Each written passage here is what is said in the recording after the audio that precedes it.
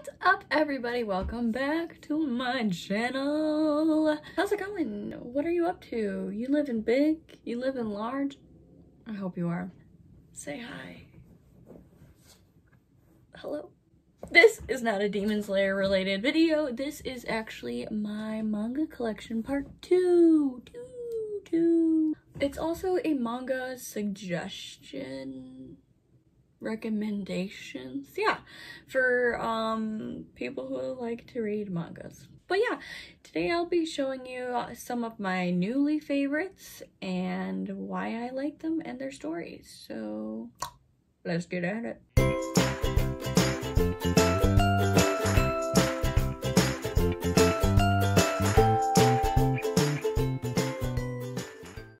the first one I want to recommend is called Perfect World.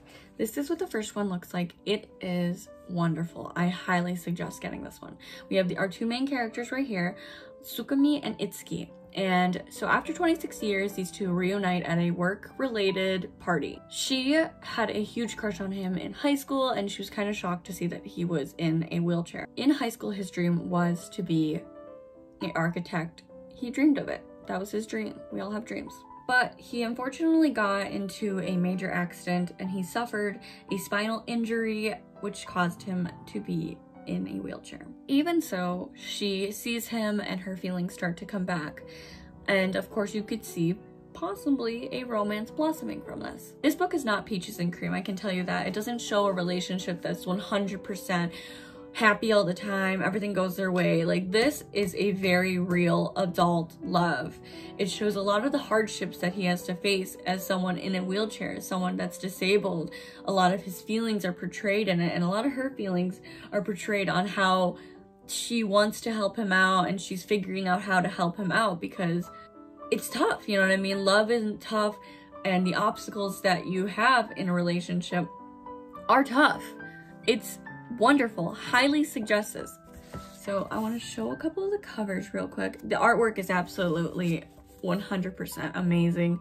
It's just immaculate and just I highly suggest it. Go buy it, you guys. You will not regret it. This is a 10 out of 10, 5 out of 5. I I love it. The next one I highly suggest is A Sign of Affection.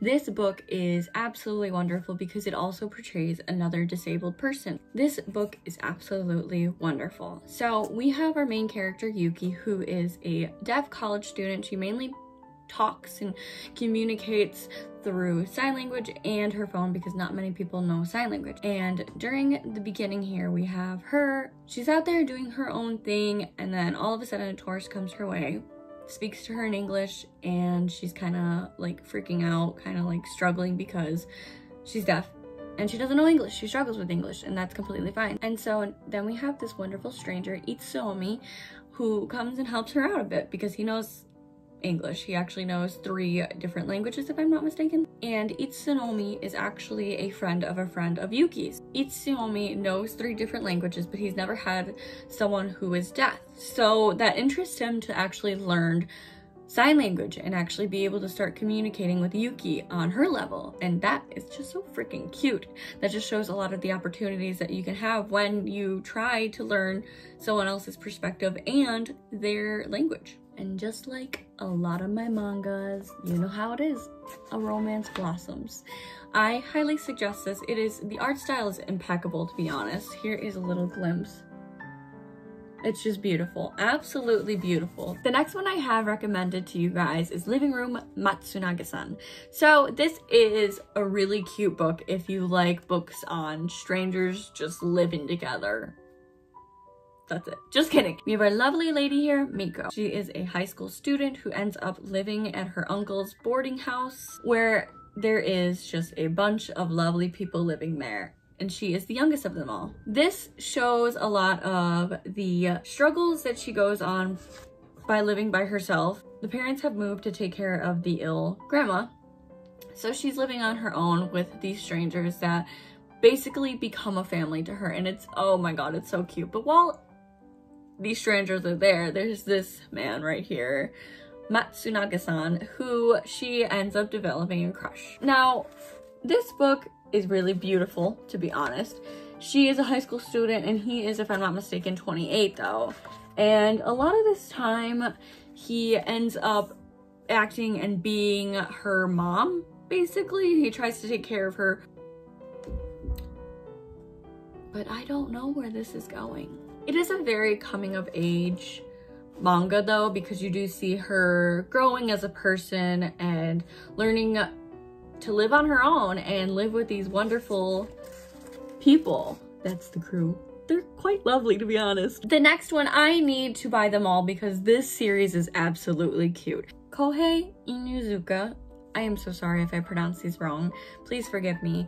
He recently lost his wife, unfortunately, so he's a single dad trying to raise his wonderful daughter. And the main thing that he has a problem with is that he sucks at cooking just like me. And to top it off that he sucks at cooking, he really doesn't eat a lot. He doesn't have a huge appetite. Can't relate. But like all great mangas, fate brings him Kotori Ida. And she knows how to cook. He's actually, she, sorry, she's actually one of his students. She wants to learn her mom's recipes and cook for her mom more. And he wants to provide great meals for his daughter. So the three of them venture on in the kitchen, basically. It's a really cute book. I only have the first one, so I do not know how this ends at all. But it's a light read and it's just really adorable and I'm very attached to this. And actually there is an animation of this too. And the best part about this manga is that there's actually the recipes. I want to cook what they're cooking. Hold up. I can. I can make a Salisbury steak. And that's all I have, you guys. I know it's a little short today, but I really hope you enjoy these recommendations. I highly suggest checking them out because they are all so good, like insanely good. Thank you so much for being here. If you're new, please check out a couple of videos, see if you like what you like, see if you like what you're seeing. There we go. And if you do, maybe subscribe. As always, much love, XXOO to you all. I love you. Bye, you guys. Have a wonderful day.